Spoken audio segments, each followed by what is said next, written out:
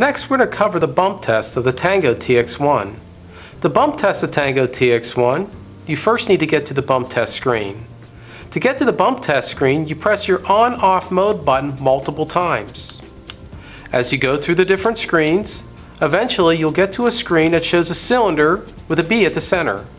This indicates that you're at the bump test screen. To bump test the instrument, simply press the enter button at this point. It'll show you the gas concentration to apply during the bump test.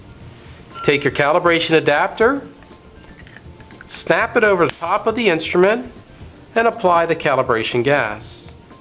At this point, the bump test will start automatically. Upon completion of the bump test, two P's will indicate that both sensors have passed the bump, but if, any, if either sensor failed the bump, you will receive an F instead of the P. Upon completion of the bump test, you turn off your gas, remove your calibration adapter, and allow the instrument to stabilize back to zero.